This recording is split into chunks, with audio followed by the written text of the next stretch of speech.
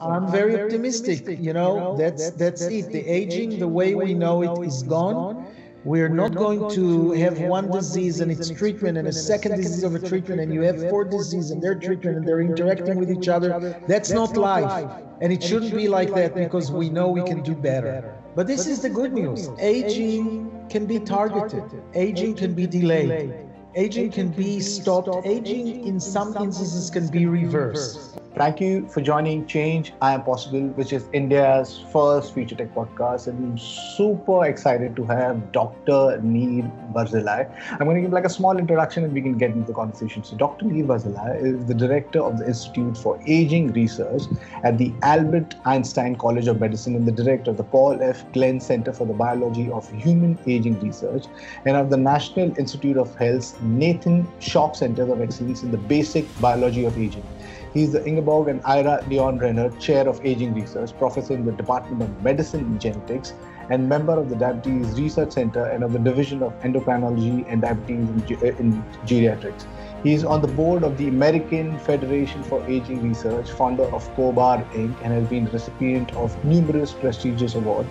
And he is currently leading an international effort to approve drugs that can target aging, which the project is called Targeting Aging with Metformin. It's a pleasure and honor to have you, Doctor. Super, super excited to have you and have the discussion on human longevity. So, I personally have been super excited about the possibilities of human aging healthily, right?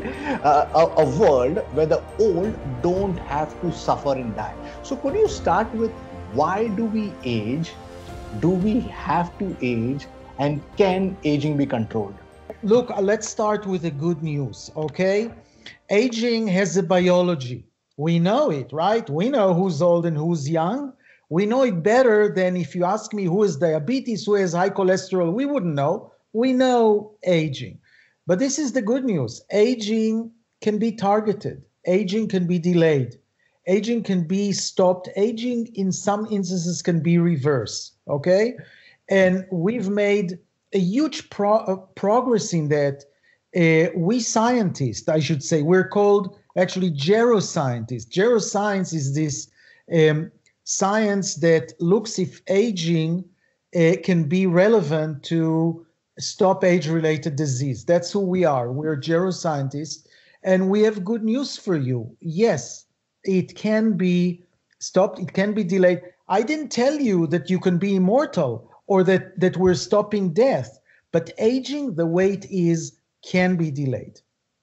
So, so why is it that we age? What is the reasons? Are there some biomarkers? Well, there are two different questions. Um, look, you know, when, when you have a, a, question in biology, you always go to evolution and say, why, why, you know, what's in evolution made evolution select us to what we are, okay? And this is the problem with aging. Aging is not really something that's selected by evolution because evolution is about having your kids, okay? You're young, you're having your kids. If you had good genes, okay, then they'll succeed more than other people and that's what will drive evolution. Okay? Now you're today we are not dying once we had our kids. We live 40 60 you know 80 years later okay? And and that wasn't a plan of evolution. That's a leftover right? If if you have your kids and you then age quickly. You're dead in the next year. It's too late. You had your kids. And if you had your kids and now you live 80 years more, well, there's no selection for that. You had your kids. Okay. So this is the problem, right? That evolution didn't select aging. Uh, it's more than that. Some things that are good for reproduction are bad for aging. So, um, for example, you need cholesterol to to build the cells, to build the ovaries, to build the brain. Okay. So when you have a lot of cholesterol, it's good when you're young. What does cholesterol uh, happen? Does when we're old? It kills us. It's called antagonistic pleiotropy. Something good for you as, as young kills you as you're you're you're old.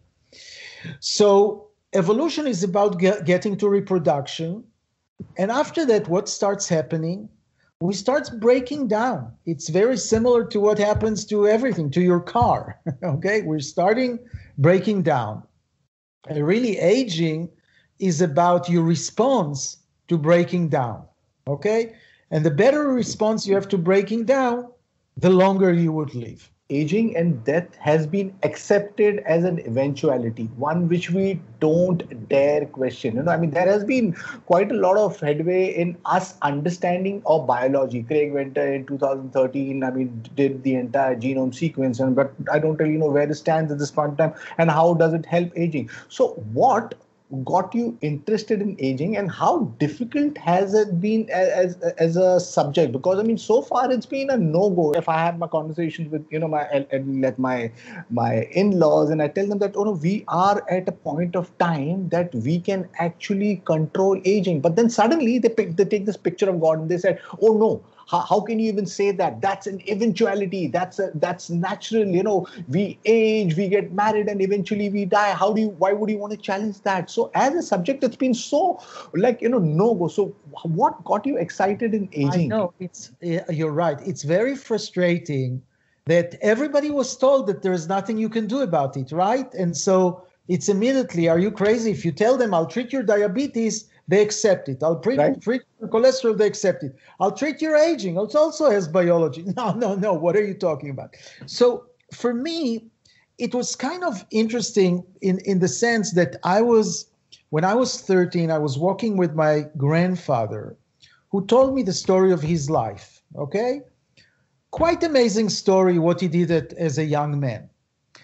And I'm looking at him, he's 67 years old He's obese. He looks old. He doesn't have much hair. The rest is white. He's walking slowly. Okay. And I'm saying, just a minute. Uh, this is the same guy. I mean, the stories that he tells me, it's him.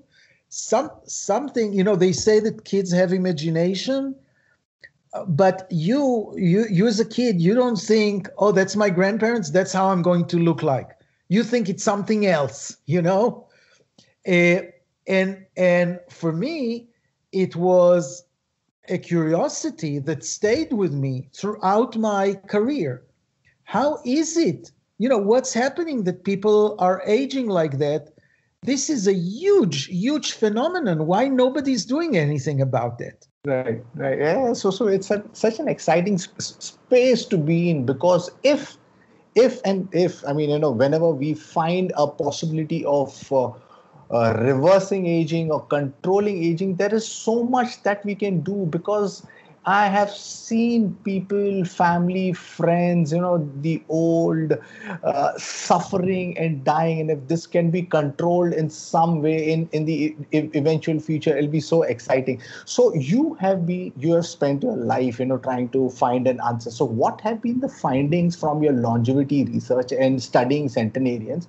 And how is that understanding being leveraged in your research for longevity? Uh, terrific, terrific question. So, you know, first of all, the reason we we went quite far is because we decided we don't have to look and describe aging. First of all, it's boring. Second, everything kind of goes wrong. What, what is, you know, what does it tell you? We started looking at models that live longer you know why why some animals the same species live longer? For for example if you do caloric restriction to animals you give mice or rat actually every animal in, in the planet you give them to eat less food they live significantly longer okay? And healthier. Why is it? So we all found models like that and I had some models like that. But then I said, you know, uh, let's look at 100 years old, okay? Because 100 years old lived, you know, when they were born, life expectancy was 40. And if they came to 40, it may be 60, but they basically, their friends died 50 years ago, okay? So how come, what happened to them? Did, did their aging slow, okay? So is this a model uh, to look at, at aging that will be re- relevant to humans? And that's when I started uh, looking for 100 years old, and I have 750 100 years old in my study, where what I'm looking for is longevity genes. So I'm looking for changes on their DNA that slows their aging. Okay, that's what I'm what, what I'm doing. I also have their children, their offspring, because their children also live longer and healthier. So another another population that they're aging slow, and I'm comparing them to you know regular population. Now, one of the first questions for me was, okay, do they get sick um, when everybody gets sick? And now they're living 30 years more sick or is their lifespan and health span goes together?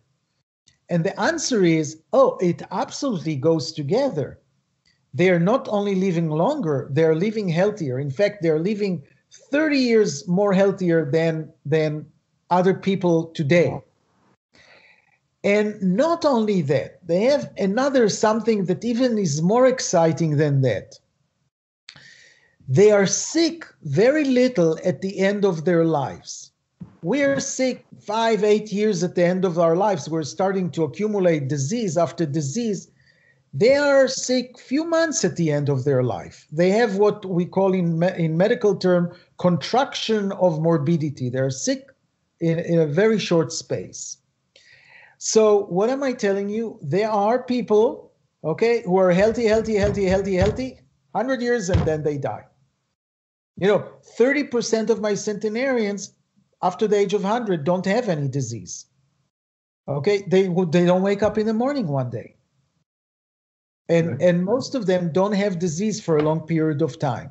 So that that's why it was really interesting to study them and to discover what why their rate of aging is slow. Right, right. So, so what has your research findings been on caloric restrictions? Because you know, suddenly you know the entire Silicon Valley is you know harping on intermittent fasting, and it's something which I also tried, but you know, uh, it, it's something which I couldn't really because I love love food, so I couldn't continue that. Now, uh, uh, longevity genes. You said that uh, you have discovered several longevity genes. Now, how is that being leveraged in your research for longevity? So, so first of all, in in the caloric restriction area, um, the the first studies for me were to see if the amount of fat of adiposity um, is the reason that with caloric restriction we live shorter or longer. Okay, and I've done lots of studies where I um, remove fat and brought fat and stuff like that, and and and it's certainly part of, of this. But there's something more interesting that I learned through the years, and not for a long time. I didn't think of it for a long time when I did the research, and that is that when you do uh, the studies in caloric restriction, what do they, what do you do? You take the mice, the rats, you give them to eat, you figure out how much food they have for day. Okay? Then you separate it for two groups. One continue to eat whatever they want, and the others we give them 60% of that. Okay? And we come and feed them every morning the 60% of food. Okay? Now they're very hungry. So what do they do? They finish the food like in 20 minutes. In an hour, the food is gone. So it's not only that we caloric restricted them, they also were fasting for 23 hours. Okay? And we learned that if we feed them throughout, so so uh, for, for us before that, caloric restriction meant have less for breakfast, less for lunch, less for dinner. But when we gave those animals less for lunch, less for uh, less for breakfast, less for lunch, less for dinner, they were thinner. They didn't live longer. So you have to have not only the caloric restriction, but the fasting. And the fasting is the one that protects you against aging. So, what is the reason that you looked at metformin you know what what why, why repurpose a drug? Because there are so many others who are kind of like trying to figure out various ways for uh, you know uh, human longevity. Why did you go for metformin? And, and, and can, could you talk a little bit more about the TAME project? What what's the the finding so far from there? So uh, so why metformin? Metformin so let, let me tell you why i'm doing this study okay? I'm doing this study because just like you know your in-laws are skeptical okay? Um, the fda is skeptical too. I mean if people didn't hear that they're saying are you crazy? You think that aging can be stopped and one drug can do it? I mean get out of here okay? And the problem is that aging has no indication okay? The, uh, the fda the regulatory forces i don't know what's the fda in india but whoever does the regulation of drug does it for diabetes, does it for cancer, does it for uh, heart disease, right? Not for aging. So we came to the FDA and said, look, we have a drug that we want to repurpose. It's called metformin. Uh, we need a way forward. Tell us what do you want us to show you so that you agree with us that aging can be targeted. Okay. And so we took a drug. We're a bunch of scientists. Where we don't have pharmaceuticals involved here. We're a bunch of scientists. We come to the FDA and we tell them, help us, um, you know, h- help us find indication. Why did we choose metformin? Because metformin, look, the history of metformin, that people, it's an extract from French lilac. It comes from a flower. It's a natural thing. Um, it, need, it needs, you know, it's not that you can take French flour and, and eat it, okay? You need some processing. Um, but it was used in the 1940s and 50s, like 70, 80 years ago. It was used to uh, prevent flu and malaria, okay? We don't know we cannot find good studies for that but somebody tried it and people believe it in and there are some studies that suggest that it worked. But as we're as they were using that so that that's already again in, immune uh, you know against infection right? And then as they uh, then it came apparent that people who had diabetes and and were on metformin their glucose went down. So it became an anti-diabetic drug Okay. By the way, most of the metformin in this world is produced in India. okay, most of it, uh, and it's very cheap. It's very cheap everywhere. Right. Uh, but many people are using it because most of the diabetics are using it. But people started seeing something really weird. They were doing clinical studies and they were showing that metformin prevents diabetes. They showed that metformin is protecting from cardiovascular disease. They showed that met- people on metformin have less cancers. People on metformin have less dementia and they deteriorate less into dementia. And that people with metformin live longer than people who don't have diabetes. All the people on metformin have diabetes today. But they, if they take metformin, they live longer, they have less mortality than people who, who don't have diabetes. Okay, 17% less mortality. And so many of those studies has been done. So it's not that we're guessing. People are saying, oh, oh, oh it happened that metformin maybe has four corners, and one of them is cardiovascular, one is this, one is this, one. No, it hits the biology of aging. Now, how, how do we know, you know, what is the biology of aging? We we geroscientists agree that there are about eight hallmarks of aging. How do you get to be a hallmark of aging? You get to be a hallmark of aging if you say, you know, that's what's going wrong, and I stopped it, and you know, my animals lived healthier and longer. Okay, that's how you become a hallmark. It's not it's not the causes of aging, okay, right. but it's something that you can treat. Uh, also, those hallmarks of aging are connected to each other. So, uh, if even if you treat one of them, you get improvement in the others. Okay, so it's kind of a powerful tool to work on these hallmarks of aging. and and metformin hits all the hallmarks of aging. You know whether primarily or just because it fixes the other, I don't know, but that's what it's doing. Lovely. So. Uh, so so that that's why we took metformin as a tool and we went to the FDA and said we want to repurpose it for aging the ones who are excited about human longevity, would you suggest them to take metformin? How safe is it? I'm 48, my mom's 76. We both don't have diabetes. So can we have metformin? If if yes, what would be the dosage that you would suggest? Look, I don't have uh, any reason to suggest to people to take metformin because I want to do the study, right? If everybody takes metformin, I cannot really do the study, okay? Um, and and so um, but but and it's and you need a doctor to prescribe that right uh, but i'll tell you i um i had especially with the covid uh, you know people people um, who were on metformin during the covid had less hospitalization and significantly less mortality between 50 and 70 percent less mortality okay so my in-laws, for example, my in-laws, I said, you know, it's a war, you know, there's no, you know, indication, but I want you to take, you know, I want to take you metformin, okay? It's an ethical dilemma for me. What do I say? Okay? Uh, and and that's my story and I stick to it. Right. So so how has the media and peers uh, reacted for to for on you going or, or, repurposing a drug. I mean, you know, going for uh, uh, metformin as maybe like a, a, primary cure for aging. How's the peers and uh, regulatory body reacted?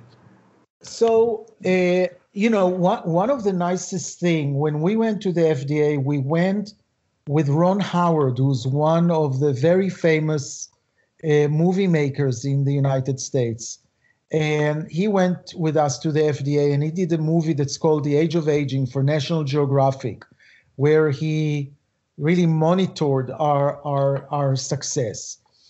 But this is from a marketing point of view. This is the problem. When I started my research, I said, I'm, I'm into aging. And most people, I'm in New York, you know, and most people like, ah, we don't want to hear about that. That's that's a bad word we'll see you later. Um, also, when people are so busy, you know, young people are busy, they, they just don't think ahead much, okay? So I thought to myself, you know, why am I saying aging? After all, I have centenarians. I'm looking at longevity, okay? So let's talk about longevity. Now, now what happened then? People assumed that, oh, longevity, you get disease and now you live longer. Thank you very much. I don't need it, okay? So really, what I'm using more often is health span, and it's really about the health span. Okay, it's living healthy, healthy, healthy, and then dying, just like my centenarians. Okay, uh, I, yeah, the longevity for me is a side effect. okay, maybe not a good side effect. Maybe maybe you cannot afford to live longer, right? I mean, I, I don't know what, what to do with this side effect but we're really talking about being healthy because this is what's going wrong now. Okay, the accumulation of disease after disease, the fact that the biology of aging that can be harnessed is free. Right. So, so what do you think it would take for FDA to approve, uh, you know, the, the whatever you're doing, and if the metformin does get approved, what would be your market strategy? You know, go to market strategy. So, uh, so what what we're doing is we're doing a study that's called right. TAME. Right. We are going to recruit three thousand people, uh, and half of them will be on placebo, okay, on a fake drug, and one will be on metformin, and we'll watch for five years how much diseases they're accumulating. And our hypothesis is those that are on metformin, their time until they get disease will be shifted by several years. Okay, and that's what we'll bring to the FDA. Okay, and the FDA will approve uh, metformin is something that changes the cluster of age-related diseases. that is like aging. That could be a template for other people to do experiments like that. You you also are the founder of CohBar Inc. and you are also uh, looking at another approach of, of for aging over there. So could you talk about that also? Yes, my uh, my my friend uh, Hassi Cohen and I founded this company based on a um, on a finding, a, a really important biological finding that the mitochondria, which are the powerhouse of uh, our cells, um, also produced peptides that we didn't know that they produce. And those peptides are getting out of the mitochondria and going to different organs and talking with them and making them more resilient to diseases. And so we're developing those MDPs as a treatment for aging and age related disease. One of those MDPs, for example, that we're developing, um, there's a paper that was published today in Cell Metabolism in a really good journal that shows that it also extends the life of mice, you know, extends the lifespan of mice. So it's, uh, it's a really uh, strong peptide that is in the midst of aging. Today, some of the top leading scientists, biotech biotech firms are working on human longevity. You know, right from senolytic treatments, they're addressing thymus uh, shrinkage, then the stem cells, gene therapy, telomere lengthening, blood plasma transfusion, epigenetic reprogramming, and even uh, at, there's this company in Israel who's looking at hyperbaric oxygen chamber. So, which approach of your peers seems to be the most promising, and why? You're asking like who's your favorite kid, ah. right? Ah. Who's your favorite, child? I'm, I'm not going to tell you who's my favorite child because there are hallmarks of aging, right? right? So everyone, you just counted those hallmarks of aging pretty much, okay? Each one is a target. That's the cool thing with the hallmark of aging that that biotechs came and said, you know, I'll look at this, I'll look at this, and they'll all make progress. Um, and and and look the combination progress is important because first of all there'll be combination of drug and will be personalized medicine. But i'll give you example. The senolytics those drugs that will kill your senescent cell right? The senescent cell that are accumulating they're not dying and they're doing damage okay? Or they're called sometimes zombie cells not for any good reason but okay. You don't have that much of them okay? So so, you know, I wouldn't say that you'll get it. On the other hand, your mother probably does have a lot of senescent cells. So that's the time to give it. So every drug will have a purpose and a time and more indication. There's another point here. Um, so let, let me say it like that. Um, a 70 year old man can the sperm of a 70 year old man can fertilize an egg of a 50 year old woman okay? We can we can measure the age actually of the sperm okay? So the the the baby is developed right and the cells are starting to divide. When that happens the cells start at zero. Again they don't remember the age of the 70 and 50 years old they erase all that, they start from zero. Okay, we have figured out inside us how to do it in this example. Okay, so now the question is how do we do it to erase aging as we go on? Okay, and this is kind of the gold. Uh, the gold standard that we want to do and we're making even progress of that but but i'll tell you that there are lots of technologies that will enable us to do a lot. Not necessarily at you know not actually in my lifetime. I hope it's long but maybe not.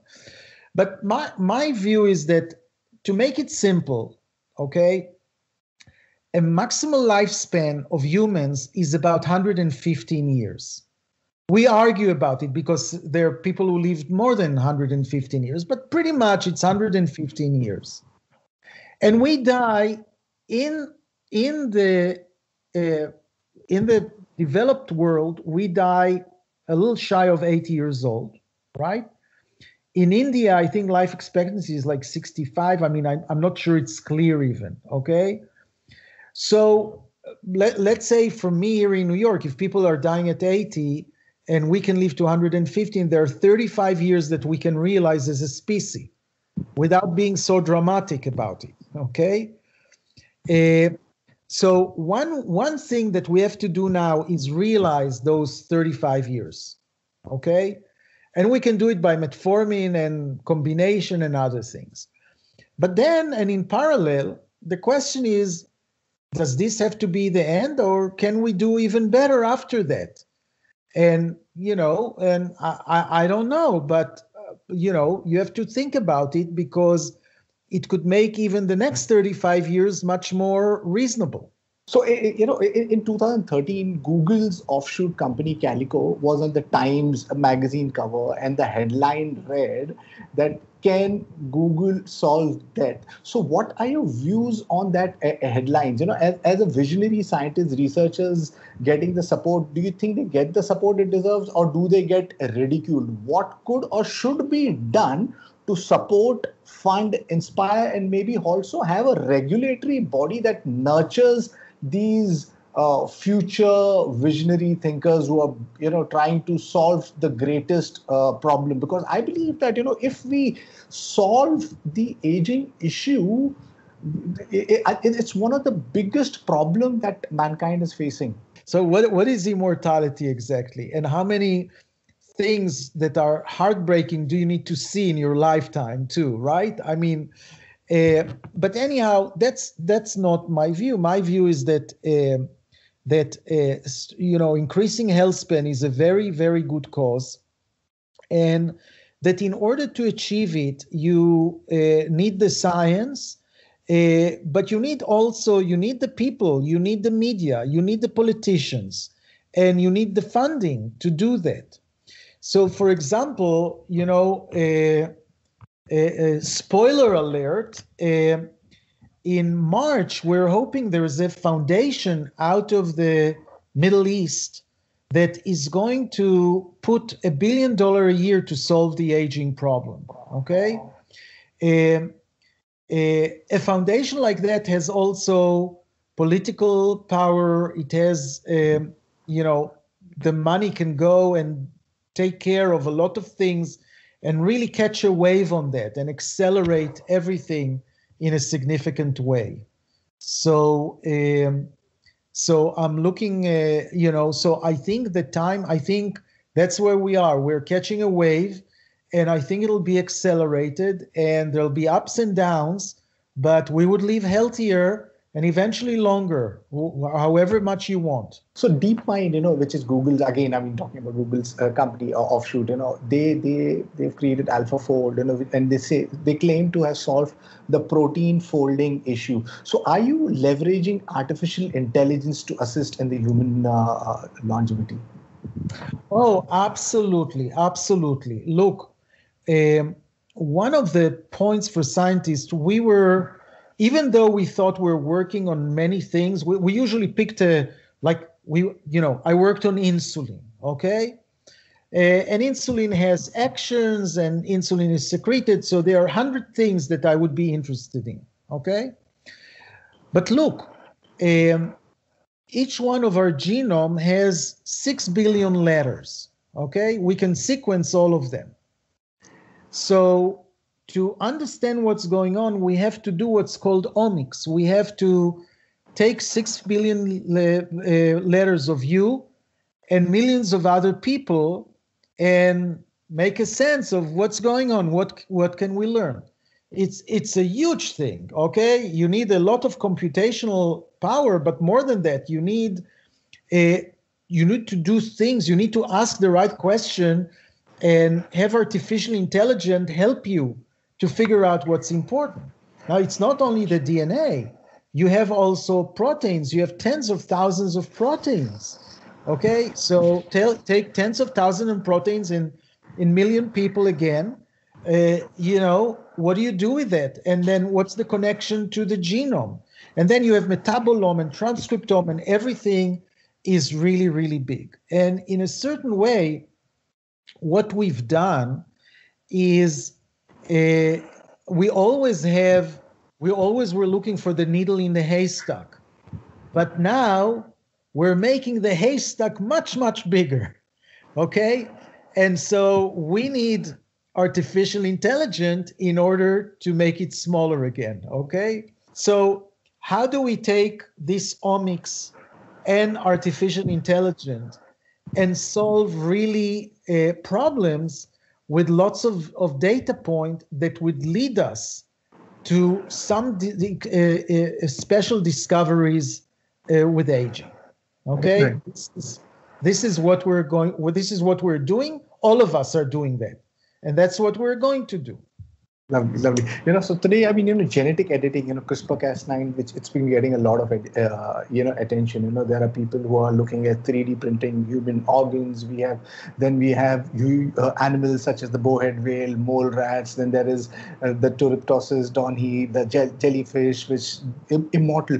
So, do you think that the understanding of these animals and, and you know, are, a deeper understanding of uh, genetic would uh, makeup of these animals us would help in human longevity Yeah, I, I think the comparative biology is really very interesting. You know, why why animals that are pretty much the same, you know, from the same species, very close species, have 10 times difference in life expectancy. You know, it's really interesting.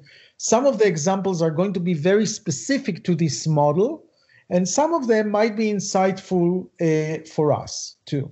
any last words? When do you think we will have something which will be available for the masses? And w- what's the timelines that you predict for having something you know which which can really you know solve this aging problem Uh, you know, whenever people ask me this question, I used to say within 10 years. And I think I was never right. Um, but I'll say it now, but I have to tell you, I really believe that I'm right. First of all, metformin, you know, I, I gave my little spiel about metformin, but there are lots of people who are taking metformin now, okay? Uh, so metformin is going to happen. It's going to give us two, three more years of health span on average. Okay. But then they're going to have other either nutraceutical or drugs that will work in combination and will gain more and more health span uh, as time goes by. I'm very optimistic. You know, that's that's it. The aging, the way we know it, is gone. We're not going to have one disease and its treatment and a second disease of a treatment, and you have four disease and their treatment and they're interacting with each other. That's not life. And it shouldn't be like that because we know we can do better. Right. Yeah, yeah. I, I think a great note to end on because I think that's not life. Whether we live for 60, 80, 100, 150, 200. I mean, if we can live healthily, even for a shorter span where we can spend time with our loved ones and enjoy life, I think that would be so awesome. So it's not really about living for 100, 200 years because you earlier you mentioned that, you know, life comes with its own ups and downs, you know, and, and living happily, living satisfied and content and healthily i think it should be the most important criteria for living. So I, really hope that you know we come to a point where we don't have to see our aged and our loved ones you know suffer and die. I, if we can take the suffering out of the equation if we can take the diseases out of the equation uh, that would be an exciting world. And today i think technology i think as a tool has given us the opportunity to kind of find solutions. And what i mentioned earlier also you know if we break away from a uh, you know silos you know the way we fun- function and and if we join hand with the global community there is so much we can do. You know you're doing an exciting job. Wish you the very best for whatever you're doing. And i hope and i really wish and i pray that you, you create something which you know makes this whole world live better age healthier. On that note thank you. It was a, le- le- pleasure and honor talking to you and to my listeners. If you like uh, and hear, hear what you see please press the subscribe button. Until next time see you guys. Bye bye thank you. Thank you. Thank, thank you very much. Thank you. Uh, good more good good morning in india. Good night. You take care. See ya. Bye. Okay bye bye